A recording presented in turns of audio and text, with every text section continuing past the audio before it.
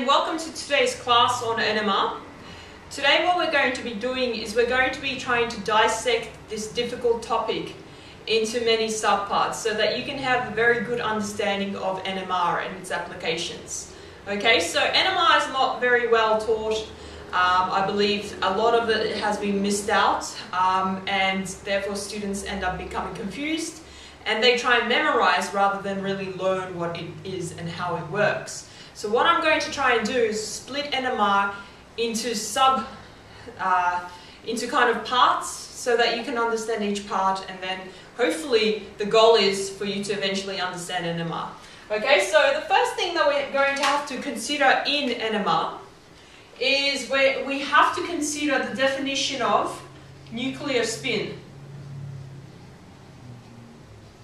Okay, nuclear spin is the basis of NMR. It is what makes NMR actually possible. Okay, so the way um, it works, okay, is every single nucleus has a mass number in it. Okay, so if you have a look at an atom, oops, that one doesn't work. If you have a look at an atom, that one doesn't work either. Very good start. Okay, Sorry about that. If you have a look at an atom, okay, an atom is made up of electron shells and it's made up of a central nucleus here. So that's the nucleus. And those are the shells. Okay, now the nucleus in the center there has a mass number.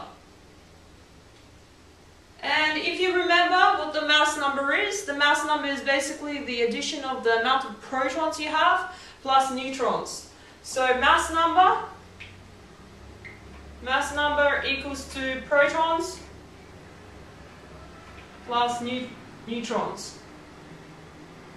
Okay, so that part is what we're analyzing in NMR. Now, what you have to understand is that some of those nucleuses do not spin, others do. The difference between the one that spins and the one that doesn't is the way that the subatomic particles can actually arrange, whether it's evenly or odd. I'll show you how to understand this. Okay, so let's consider if you have two basketballs, for example. If you have a basketball here and a basketball here, or even if you have like a seesaw or something, it doesn't matter. Um, if you put six units here and six units there, and this weighs the same as that, that basketball um, will not spin because both sides of the that both halves are equal. Um, I think it's best to show you this via a seesaw example. So if I have a look at a seesaw, if there's Bob sitting here and there's Maria sitting here and they both weigh the same, this seesaw is not going to move. Okay? So that's common sense. Alright, so that will not be capable of magnetic spin, of nuclear spin, sorry. But in the case, if we have something like a carbon-13 atom, okay, this time 13, um, to break it down evenly is not going to be possible because you can't have a subatomic particle. Okay, so you can either have 6 here or 7 there, or 7 here or 6 there. Regardless of what you have, that is actually not a balanced um, amount of mass. So what that basketball is going to do, if you're putting it on the table or something, it's going to roll. Assuming that the previous one hasn't, this one's going to roll because there's an imbalance of mass um, on both sides of the um, bowl. Okay, again, if we look at our seesaw example, when we have a seesaw here, and Bob standing, Bob sitting there, hopefully not standing. Um, so Bob weighs, I don't know, 60 kilograms, and Maria weighs 70. Obviously, in this particular case, that's going to go down, that's going to go up, so there is some kind of imbalance.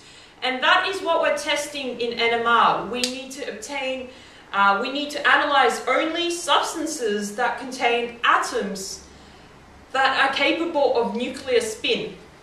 Now, why? So nuclear spin we have defined that. But the second thing that we have to actually discuss is why. Okay, why is nuclear spin actually an important uh, prerequisite for NMR? And the reason why is if, if I consider a um, particular particle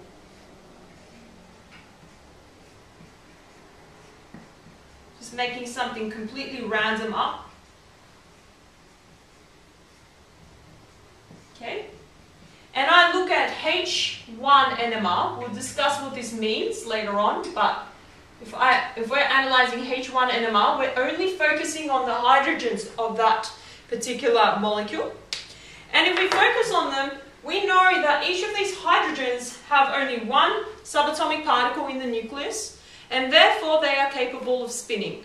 Okay? And because they are capable of spinning, there is a law in physics which is called the right-hand rule. Okay? Right-hand rule shows you the fingers pointing the direction um, of the spin.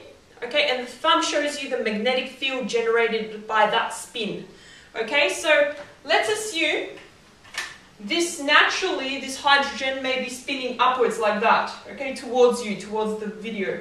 Okay, so as you know, if it's going like that, if it's moving like that, the magnetic field of that particular hydrogen may be pointing this way.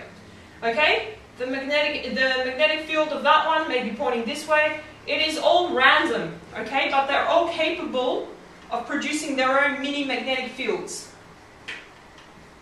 Okay? So these, these are called mini magnetic fields. And they are caused by nuclear spin of that particular atom. Okay, so this happens in a natural molecule. It does not have to be induced. It simply happens because those particular atoms will spin. They will do so naturally, and they do so in every single um, molecule that contains hydrogens. Okay? Um, so in the next tutorial, we'll have a look at how NMR actually uses advantage of this particular ability of atoms to produce their own spin and we'll be having a look at splitting as well and the differences of the NMR techniques. So stay tuned. I hope you enjoy this. If you have any questions, please feel free to ask me. Um, I'll be happy to answer. Thanks.